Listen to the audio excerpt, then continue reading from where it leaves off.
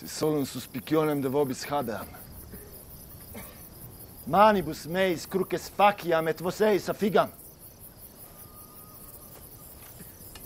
Res in ordinem collocate, edite quaedam et ad excubias. Iisus centurio.